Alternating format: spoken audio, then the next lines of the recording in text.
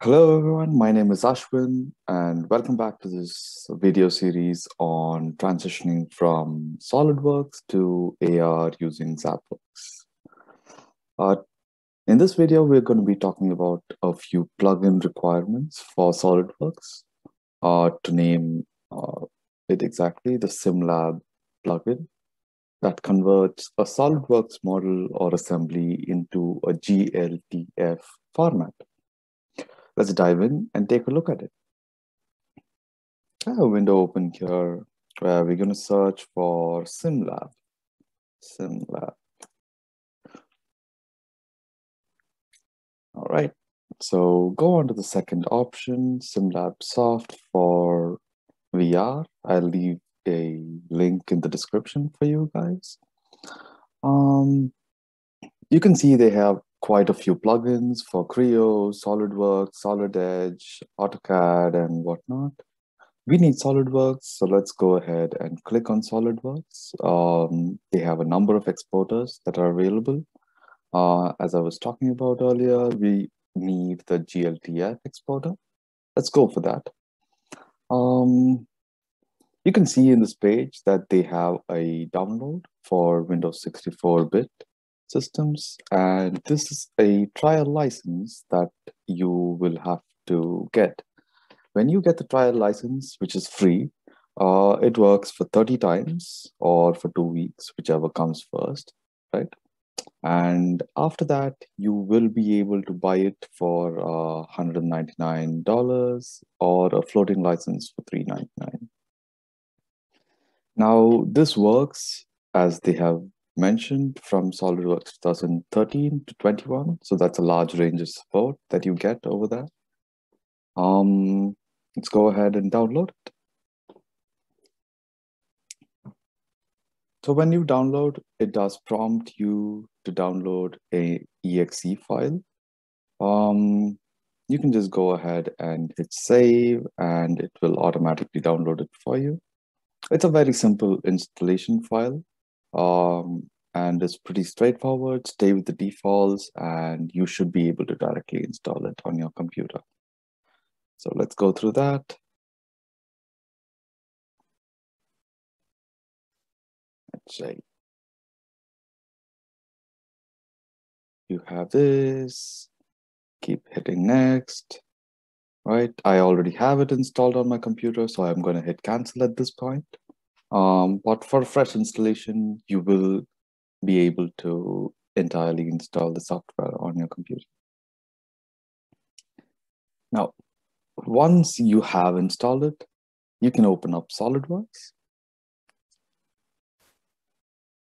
I have 2020, of course, they do support 2013 and above till 2021. So you should be good if you have one of those versions.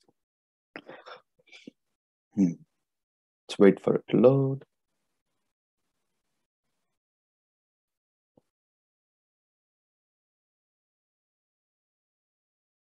All right, here we go.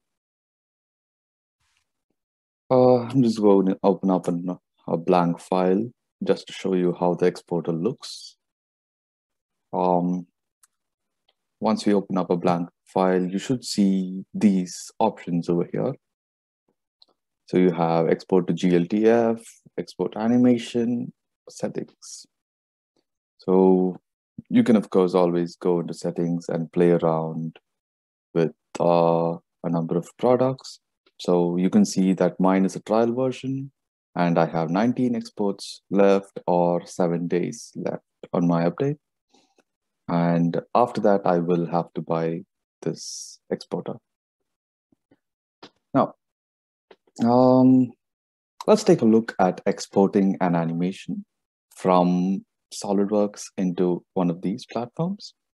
So what I do have over here is I have GrabCAD opened up and you can see that I have a lot of files already done, made for me. Um, this looks interesting. Let's take a look. All right, so we have the four cylinder animation that you can follow along. I'll leave a link in the description for this uh, as well so that you can download it and follow alongside me. What does this file have? So when I hit download files, um, you can see that I already have it downloaded over here. So we're not going to do that, but of course you can hit download. That is something that I noticed with this file um, that we will have to do. Okay, once it's completely extracted, you can just open the final assembly that you have over here. So go ahead, double click on it, and it should automatically open up in SolidWorks. There you have it.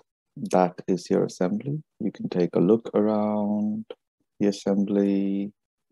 See, it's pretty well done. Um, to the person who did this. Uh, let's go into motion study since we need the animation. And let's take a look at what the animation is. There you go. This is an animation that has been done in um, SolidWorks. So you have the motion study completed. Let's take a look at how we are going to export this into a GLTF format, right? I'm going to stop the animation first and say export animation. So let's see how it works. Now, what the exporter does is it reads every single frame of the animation and it's going to take a while because it is a big animation as we can see of 20 seconds. We're going to let it go through the whole 20 seconds at its own pace. You do have another option right here to export to GLTF. What this option does is it exports the current frame alone as a solid model. So you do not get the animation in this, you only get the file that is available to you. So let's allow this to completely export the animation and come back to doing what we were doing. While it exports, we're going to talk a bit about ZapWorks, right? The other software that we require. So ZapWorks 3D I'm to search for ZapWorks and you can go into ZapWorks. ZapWorks Studio has uh, been around for a while and it allows you, as you can see, to completely take your objects, 3D models into AR and walk around the, these objects. Uh, what we are going to use for this uh, tutorial is first of all Zapwork Studio. We can go into Zapwork Studio and directly hit Download Studio.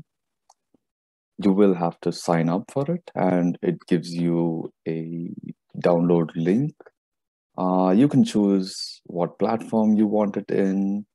You can go ahead and uh, do this. I have a couple of accounts here. I'm going to sign in to ZapWork and um, you see uh, they have ZapWork Studio 6. Um, once you click on it, they have platforms that are available for both Mac as well as Windows. Download whichever platform you need. And it's a pretty straightforward installation once again, and you will be able to open ZapWorks. More about that uh, in a future video. Let's take a look of whether this is completed. Yep, almost done.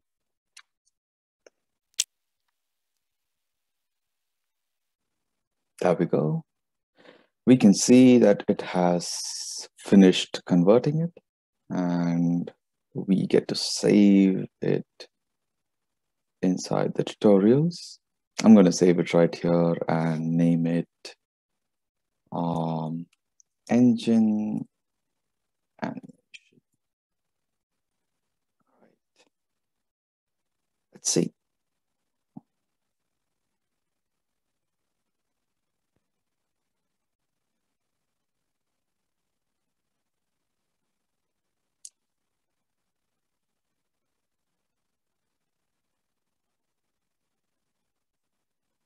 You can see that the export is completed and you have your engine animation right here. So you have two files. One is the engine animation GLTF and bin file, which contains the data of the animation. When you use ZapWorks, you will have to import both these files at the same time. Uh, we'll talk about that in the next video. All right. Um, until then,